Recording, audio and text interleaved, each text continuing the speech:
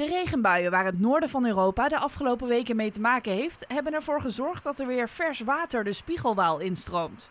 Doordat er neerslag valt in de gebieden die water leveren aan de Rijn, stijgt het waterpeil van de rivier langzaam maar zeker. De verwachting is dat het normale niveau van 1500 kubieke meter per seconde bij Lobit deze week nog bereikt wordt. In de afgelopen maanden zorgde de lage waterstand van de Waal voor problemen op het water.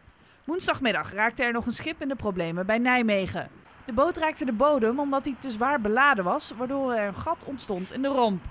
Overigens betekent het herstel van het waterpeil niet dat de droogte in Nederland afgelopen is. Volgens Margot Ribberink zal het nog maanden duren voordat het grondwaterpeil weer op een normaal niveau is.